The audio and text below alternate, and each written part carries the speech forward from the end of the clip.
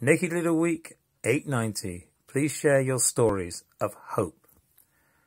Thank you for your feedback from last week's Please Stay blog. The word that struck most of you is hope, it being the single biggest factor that moves people towards happiness and away from despair, most especially now. I would love to hear your own personal stories of hope.